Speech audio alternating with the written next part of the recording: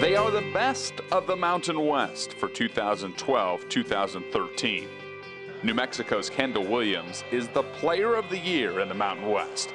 The leader of the Lobos ranks among the conference leaders in seven different categories, including points, assists, scoring, and steals. Bingo, baby!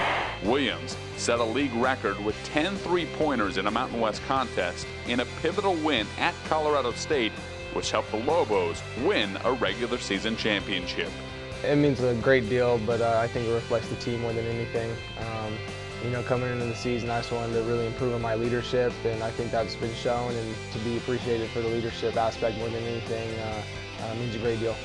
The Mountain West Defensive Player of the Year is Kem Birch of UNLV. Birch blocked a league high 48 shots this season, averaging three rejections per game. Floater blocked by Birch. Tip. Birch blocked at least one shot in each of the 16 Mountain West games. That's what I am, and that's what I've known for my, like, my whole life is defense. So, you know, that's how I get going in the games. And when I block a shot, that's what makes me get going, not scoring. Uh, blocking a shot, that's what it does. Fellow Rebel Anthony Bennett is the Mountain West Freshman of the Year. The 6'8", 240-pound native of Canada was the league's top freshman scorer, averaging over 12 points per contest. Bennett, slam dunk! He also ranked sixth in the league in block shots and rebounds. But, you know, coming from Findlay Prep, you know, just playing against uh, the top players, um, you know, everybody uh, has great talent. You know, just worked on my game every day. And when I came to, to UNLV, you know, I just felt like I was in the right place. The newcomer of the year in the Mountain West is Colton Iverson of Colorado State. The big man in Fort Collins is the only player in the league to average a double-double in conference play with a league-high 10.4 rebounds per game and a seventh best 14.6 points per game.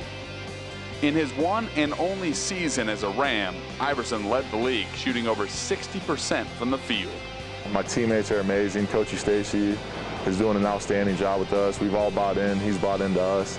And uh, I think, uh, I mean, the season is not even close to being over with. We got a ways to go, but um, if things keep going the way they're going right now, we'll all be pretty happy at the end of the year. Daniel Bejarano, also of Colorado State, is the Mountain West Sixth Man of the Year. The six foot four sophomore provided valuable minutes to a senior heavy team this season. He got down the lane. His floater is up and in. Bejarano averaged over five points and nearly five rebounds per game off the bench for the Rams. Being a six man, coming in and uh, looking at things first before I come in, and trying to trying to bring that uh, energy and helping helping the team the best way I can. Uh, defense, uh, offense, uh, rebounding, getting steals, you know, being being on the floor. You know, so I feel like that's that's my role, and I was I was fine with it. The Mountain West Coach of the Year is Steve Alford from New Mexico.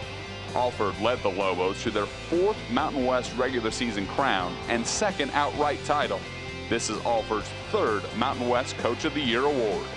Special group of young men to be in a league that's arguably the best in the country, and to lead it wire to wire and win it uh, speaks volumes of what these guys have been able to do. For more on the all conference teams, log on to the MWC.com.